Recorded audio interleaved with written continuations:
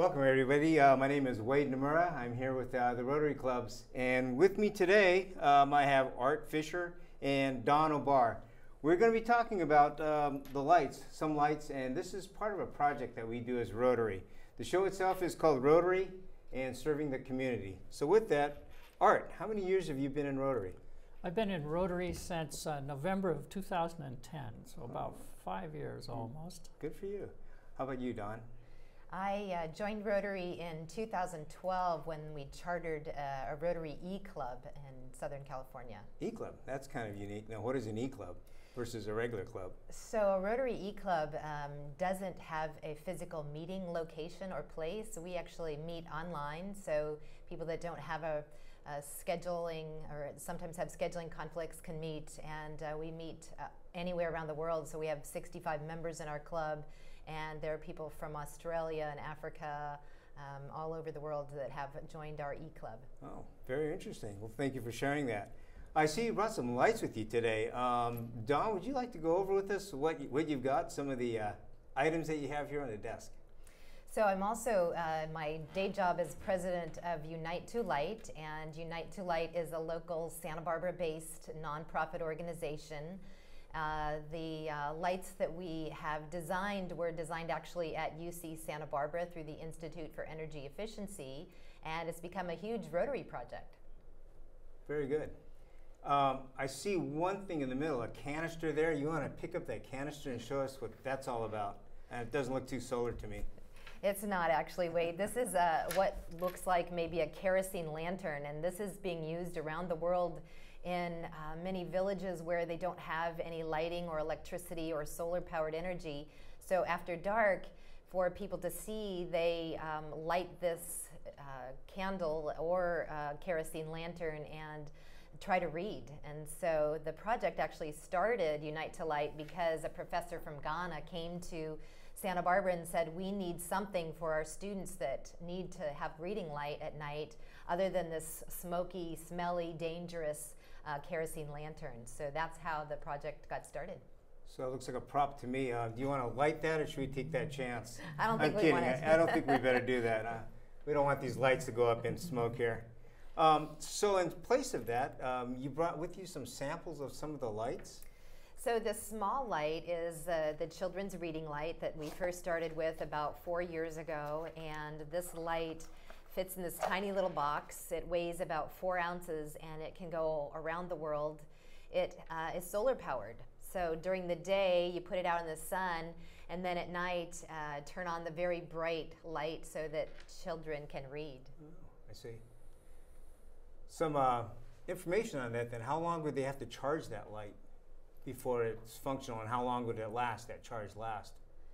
So this solar light uh, takes about eight hours of full direct sunlight on the solar panel and there's one AA rechargeable battery inside that holds the power and then will last about four to six hours at night for reading. Okay, I, see. What happens if, uh, since it's solar charged, if it's raining or something like that? Are they still going to be functional, usable, or? This one actually is water, pretty water resistant. We have a little uh, cover on the switch, so if any water gets inside, we've actually done some experiments. I threw it in my swimming pool and it still works. So um, they're pretty robust. We uh, test them, drop them off of an eight foot ladder on cement, and uh, they still last and they continue working. So it's a pretty, pretty uh, uh, robust and, and uh, reliable light. I see. Um, do you want to go over a little bit of the construction of that? Um, for example, what is the light filament? Yeah, this um, interesting is one of the LED lights inside, and the LED was actually designed by Shuji Nakamura, the uh, the recent Nobel Prize winner in physics at UCSB. So he's the designer of the LED, and it's a very long-lasting, very bright light, very cool energy light. Um, and then a very, as I mentioned, a very simple solar panel. So the idea was to create something that was very inexpensive, affordable for people in developing countries, and that would replace uh, the cost of kerosene. And I think Art has a little bit of information about the cost of uh, a general kerosene um, monthly budget. Right, we found out that in Africa, uh, if you go out at night to a rural village, you'll see these cans along uh, the, the village roads and uh, they'll be burning. And it turns out that uh, the cost of kerosene for a kerosene lamp for a month of operation is approximately $13. The uh, solar light has one AA rechargeable battery, which will last two years. That's 700 charges. So you put it out in the sun during the day for about five hours or as long as it's sunny, and it gives uh, four to six hours of light at night. And after two years, replace that battery. And in our Rotary projects, we par- partner with Rotary clubs around the world. They replace the batteries and recycle them. But the battery is only $2. So that works out to 8 cents a month with a solar light. So it's economic justice, in addition to being a, a safer, brighter source of light that has multiple uses, as opposed to the kerosene lamp. Very good. Now, the intent of that light um, was originally for home use? Was it for educational components, or what, what was the say intent? The first intent? So the first intent was really for students, uh, so that after they got done with their chores in the evening after school was over, they could sit down and study and read. And since that time, we've found a myriad of uses that were sort of unexpected for this little solar light. Um, we actually have now uh, sent them with Rotary in midwife birthing kits. And the women will wear them around the neck, and so they're able to deliver babies safely in the dark without lighting a flame and um, again without that um, pollution to the environment.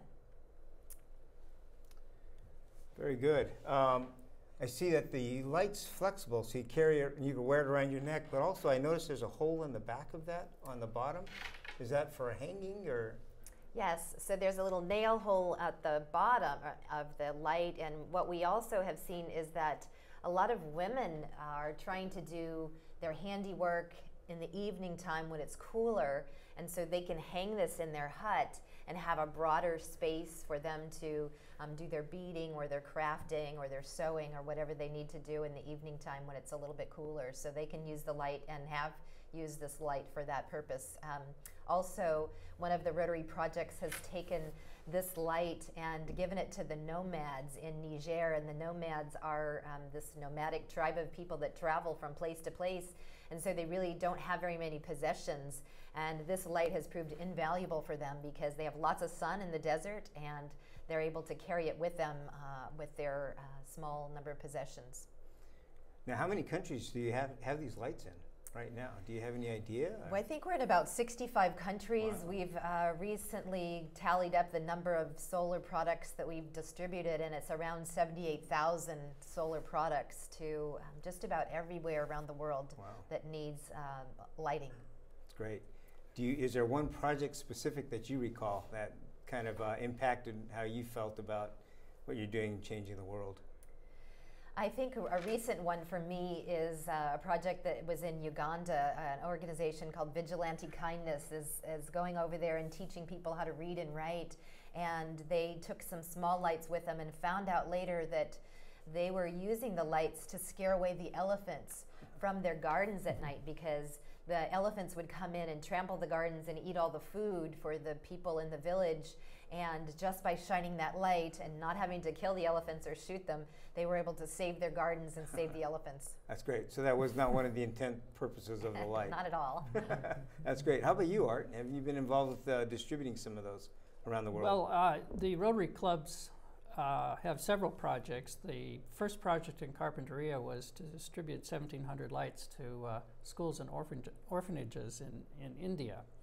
And what we found was that uh, some cities have some electricity, but it's completely unreliable, or it's only portioned out for part of the day. So uh, you think of uh, developing countries as not having any electricity or having interrupted or unreliable electricity. So uh, the lights have multiple uses. One interesting use for me is medical use for dentists, doctors, uh, paramedics. Uh, the Fosse Foot Project in Africa distributes a light in their backpacks because the light is brilliant enough for sutures and for uh, analyzing uh, uh, different foot diseases. Very good. So, um, construction wise, just curious, you have that one uh, battery in there. Does that battery, say you're using it consistently, how long does that battery actually last? Is it going to be two years, three years, five years? Actually, 700 chargers are about two years. Wow. That's So it'll charge to uh, full capacity. It'll be used at night for uh, four to six hours.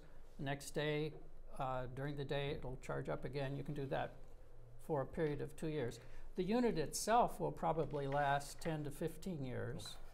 Uh, so uh, it's there's got a, a lot of s- sustainability built in. Good, good.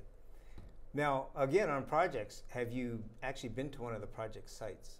Well, the, the I there's two answers to that. the, uh, the actual site that I visited was in uh, Morelia, in a, a village outside the last town, in an area in a government school, where some of the children actually rode to the school on donkeys, and uh, the children's homes did not have running water or electricity.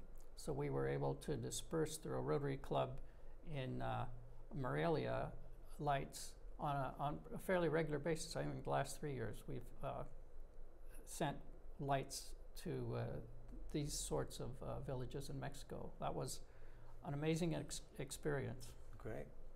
Now, how about uh, Rotary's involvement? Both of you are Rotarians. Um, how did the Rotary, I would say, either model or partnership work out? And how does that working out so far?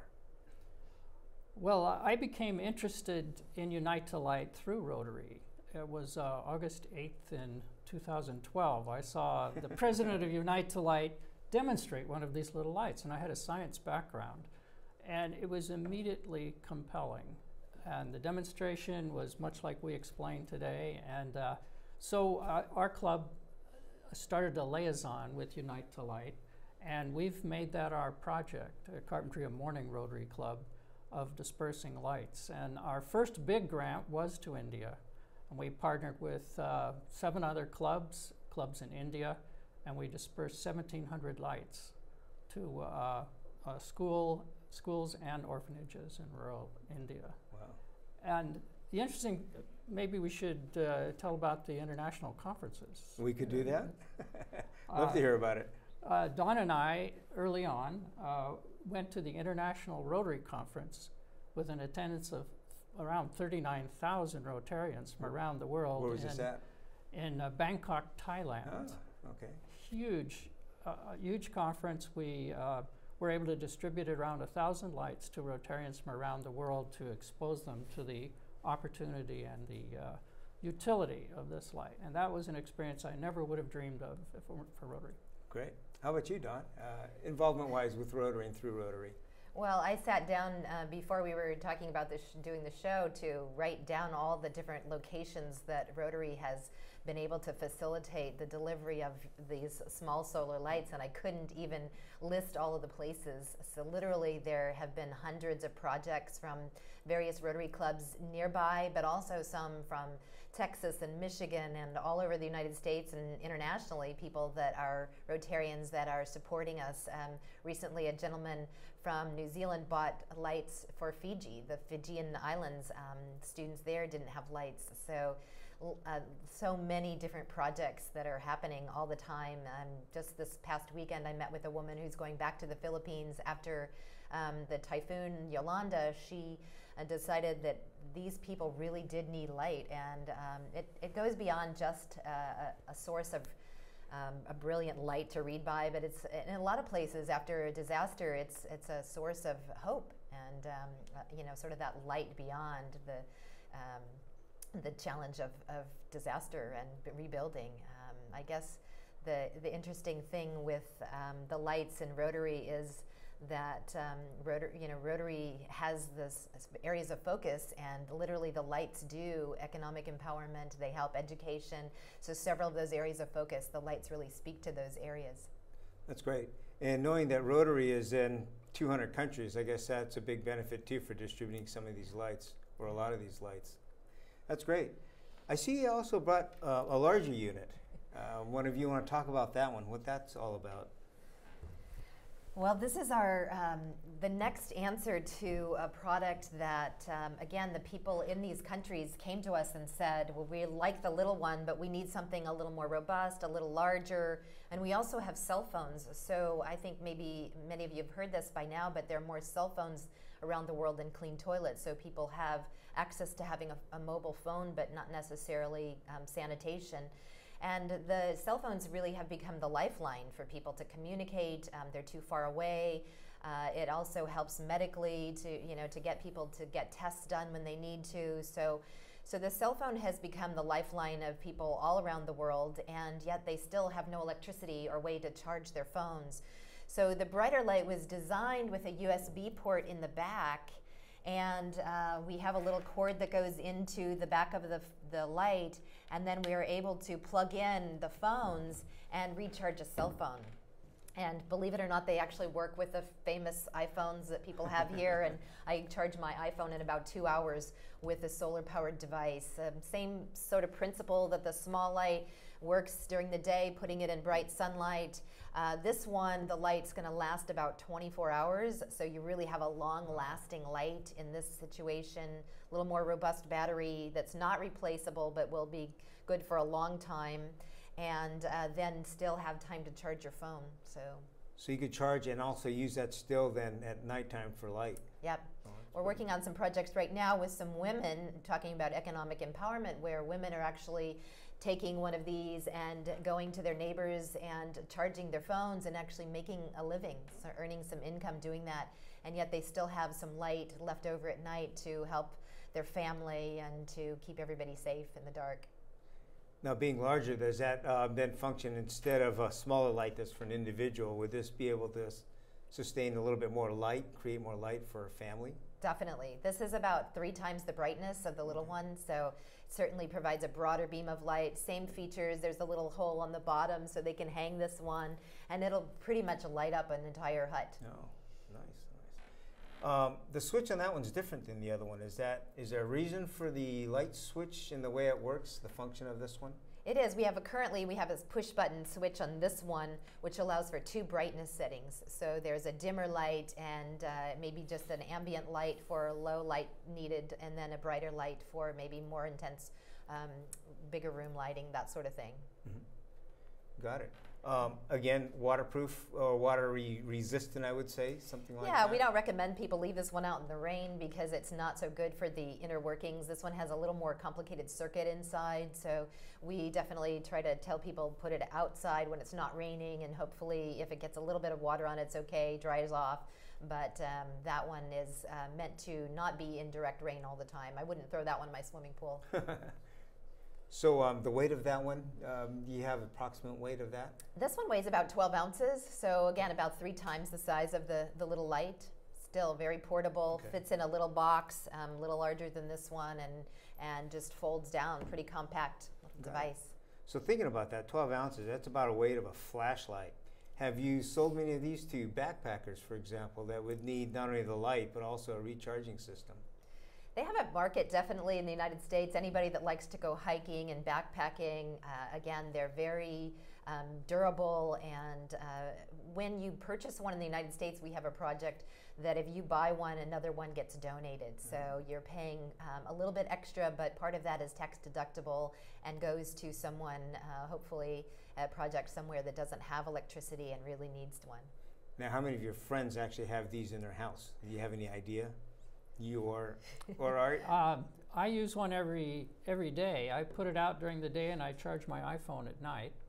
And I think about four of our Rotarians uh, have access to these in their homes. Our Rotary Club president is going to hike the John Muir Trail, past president, uh, and uh, she has this model, and it, it will be for navigation and uh, oh communication. Good so idea. you'll be out of cell phone range, but you'll still be able to use your navigation features. Seems like also a great one to have in the house in case there's a power outage or just some sort of uh, disaster, I would say. I just talked to your sister-in-law this weekend, and she wants them for, for gifts for oh, the my holidays. sister-in-law. Huh? Wonder if I'm getting one. That's very good. It's a good idea. There's an interesting project uh, that uh, I understand a, a, um, sets up a, an entire library and uh, one club, I believe, is shipping Kindles and uh, the Kindle is loaded with books, and the Kindle can be charged by this larger uh, charger light.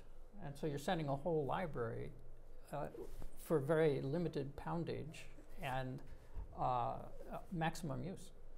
It's a great idea. Very good idea. So basically, it, it's a library. It becomes a library for a house, a household, with that Kindle project. How many of these uh, would you say, on the larger scale, the charging ones, have, have you distributed out? You said this is the newer model of the two. We just started last year, and so it's about 5,000 lights that have gone out on this big one. So really, we're 5,000? mhm, and we're uh, in production phase right now. Where we've uh, uh, found a new factory and we'll be ramping up production. This is really going to be our big seller. I think everybody wants one of these, so we shouldn't have any problems um, doubling or tripling that number in the next year. Sounds good. Um, where are you selling these, or where would people that were interested in something like this get these lights?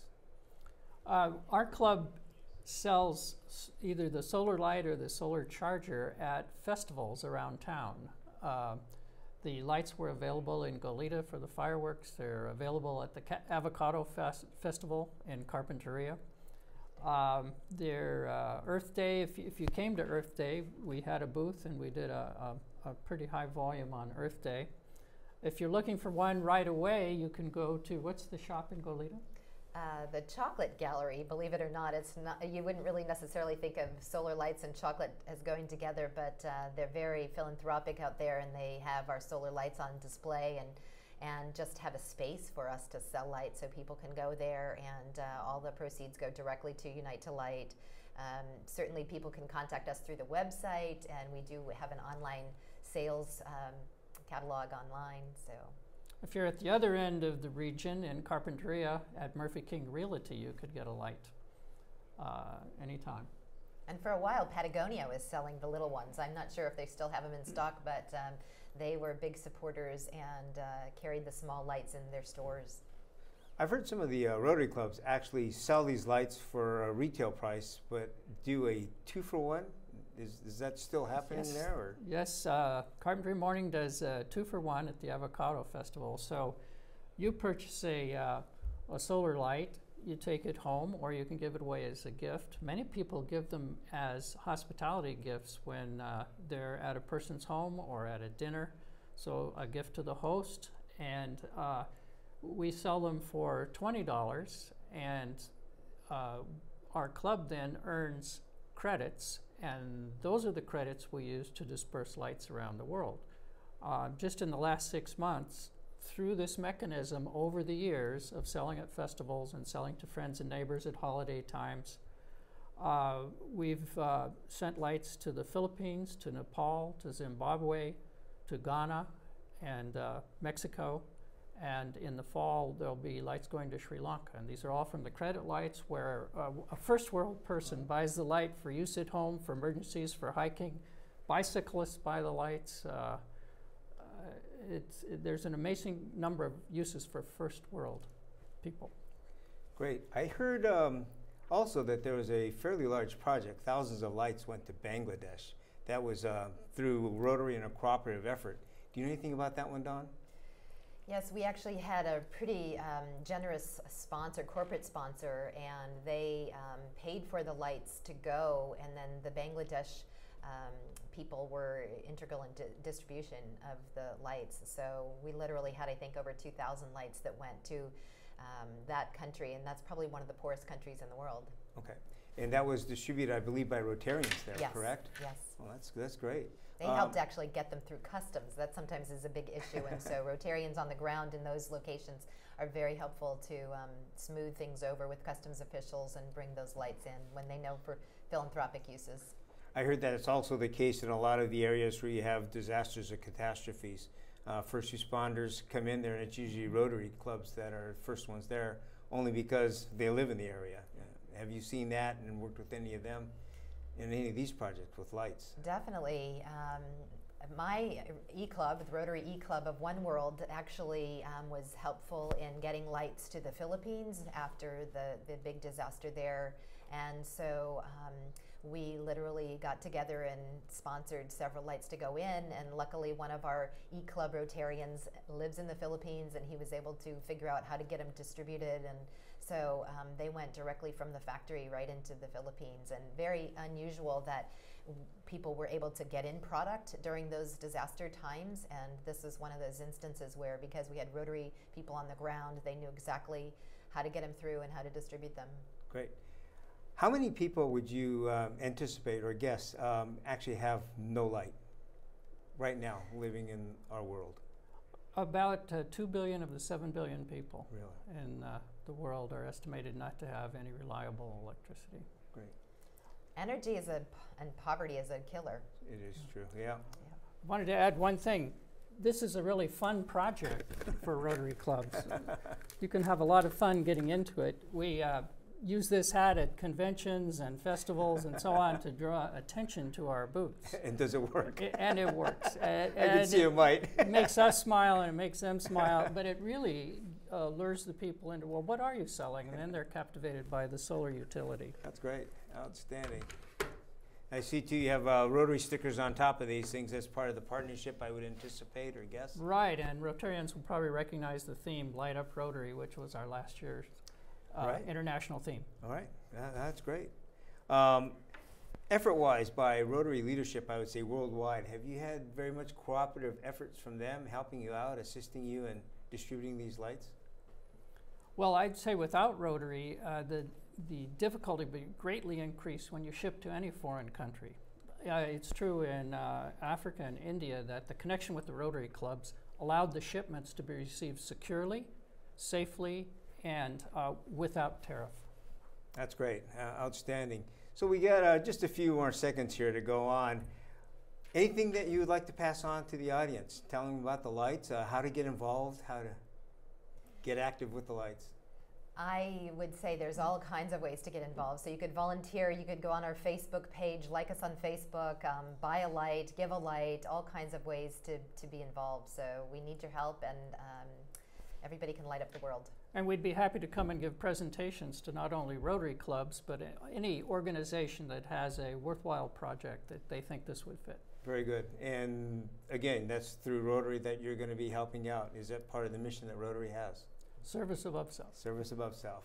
Well, with that, thank you very much for coming. Uh, appreciate the time and effort that you've had, and good luck getting these things out around the world. Uh, outstanding project, and I think you'll change the world with these lights. Thank you, Wade. Thank, thank you, very much. much.